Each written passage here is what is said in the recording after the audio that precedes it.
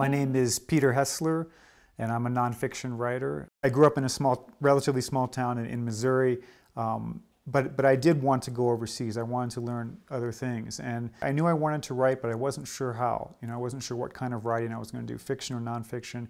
And I had the idea that what I needed was some time to explore a little bit. And so I spent about six months traveling around the world. This was 1994. I showed up in Beijing, got off the train, and something about the city really grabbed me. I mean, you could really, there was a tangible energy to China.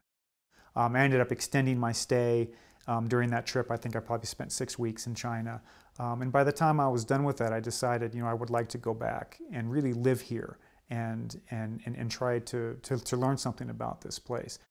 Even five years before I went to China, um, you couldn't have done this kind of work because a foreigner couldn't have had this level of contact with a Chinese person. And, and so this is really the first time I feel like that society has been open enough for a foreigner to show up, learn the language, and, and talk very deeply with people and, and, and to really get to understand their lives, their values.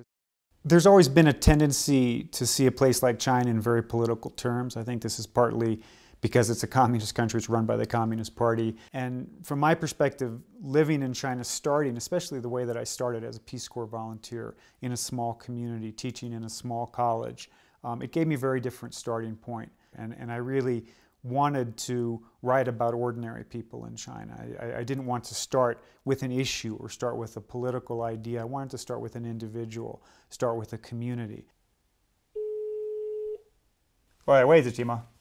I spent more than a decade living in China and and at the end of that period I decided that I wanted to make sure that as a writer I continued to learn new things and to be challenged in new ways. And I felt like it was time to make a shift. Um, and that's when my wife and I moved to the United States. But our goal now is to move to the Middle East and, and to spend some time living in Egypt and writing about that part of the world. I mean, the fact that it's exciting right now is great, but I would be interested in it regardless. I like, I like learning languages, and I intend to spend much of the next year really studying Arabic. And, uh, you know, I believe that I'm still young enough to, to, to pick up a, another language, uh, even a hard language.